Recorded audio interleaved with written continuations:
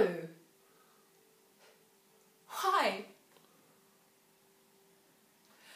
When he that is my husband now came to me, as I followed Henry's corse, when scarce the blood was well washed from his hands that issued from my other angel husband, and that dead saint, which then I weeping followed. Lo, when I say I looked on Richard's face, this was my wish. Be thou, quoth I, accursed. Be thou accursed for making me so young, so old a widow.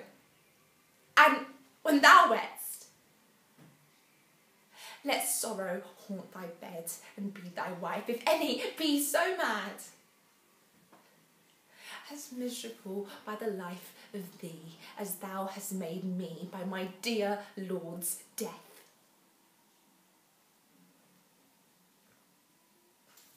Lo, ere I can repeat this curse again, even in so short space.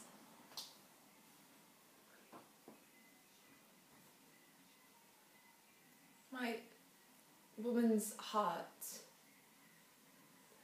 grossly grew captive to his honey words and proved the subject of my own soul's curse. Never yet one hour in his bed have I enjoyed the golden dew of sleep, but have been waked by his timorous dreams. Besides, he hates me. He hates me. He hates me and will no doubt soon be rid of me.